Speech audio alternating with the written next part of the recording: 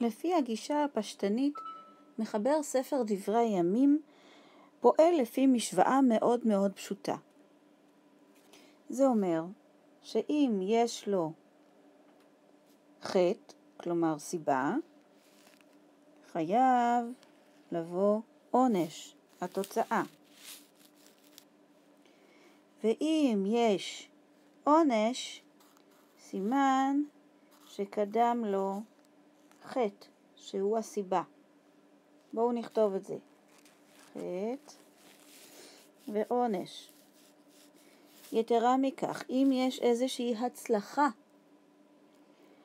או איזשהו אה, שגשוג, שזה השכר הטוב, הגמול הטוב, סימן שהאדם שקיבל את השכר הצטיין בצדיקות או באמונה, באיזשהו מעשה דתי טוב. ואם מצוין שיש אדם שהוא צדיק והוא טוב, סימן שהוא גם יקבל שכר. איך זה בא לידי ביטוי בכתובים? בכל מקום שקיים חטא, בין הוא מתואר כחטא במקורות של בעל ספר דברי הימים, זאת אומרת בשמואל ומלכים, ובין אם הוא נתפס כחטא רק בעיני בעל ספר דברי הימים, ולא נזכר עונש, כלומר במקורות, בשמואל מלכים אין עונש, מוסיף בעל ספר דברי הימים עונש מתאים. כלומר, בכל המקרים שבהם מסופר על חטא שחטא אחד ממלכי יהודה, מזכיר מחבר ספר דברי הימים את העונש של החוטא. חטא מוביל לעונש. לכל מפלה צבאית, מחלה או כישלון כלכלי של אחד ממלכי יהודה, כלומר, משהו שיכול להיתפס כעונש. יקדים המחבר של ספר דברי הימים חטא, שבגללו בא הכישלון או הדפוס, התבוסה.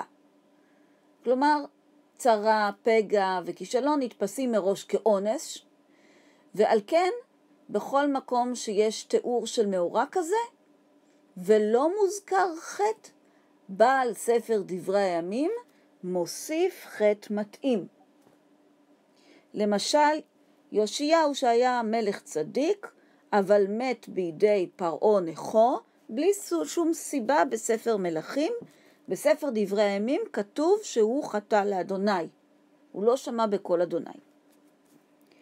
וכאשר יש לנו בעצם אירוע שהוא אירוע קשה שיכול להיתפס כעונש, ובנפרד איזשהו אירוע שיכול להיתפס כחטא, בעל ספר דברי הימים מקשר בין שני האירועים ויוצר ביניהם קשר של סיבה